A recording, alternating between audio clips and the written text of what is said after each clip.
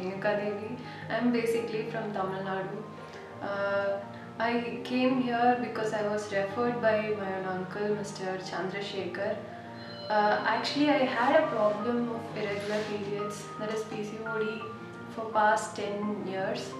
Uh, I given I hadn't given much thought about it, but it became a really big issue last year. I that uh, yeah I had a problem.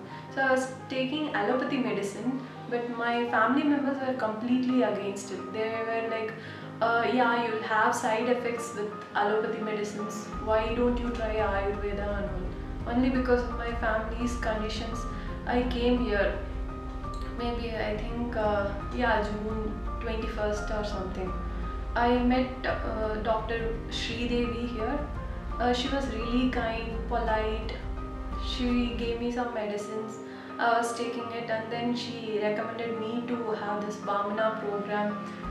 One uh, so for Vamana, I have to stay here for three days. Only by then I understood how the hospital works. Here, it's like a home you don't feel the difference between home and here staffs are really very polite they are like uh, they are treating us with utmost care they uh, even when you want water or anything like that they don't even hesitate to do anything. Like probably i would have asked water only 15 minutes back. But then now again i'm asking for some other thing. They'll not even have any fluctuation in their face reaction. They'll always have a polite face smiley face which will be very um, pleasant thing for the patients and i have interacted with other patients also. They are really very comfortable here. That's why they are staying here for 12 days 21 days or one month. It's really like a home. I would definitely recommend this hospital to everyone I know, whomever have the problem. AVN Arogya Ayurvedic Hospital, 175 Villacheri Main Road, Madurai 625004, Tamil Nadu, India.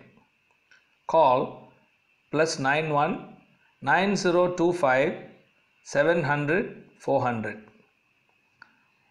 URL www.avnarogya.in. Centers in Chennai, Bangalore, Mumbai, Cochin, Madurai, and Malaysia.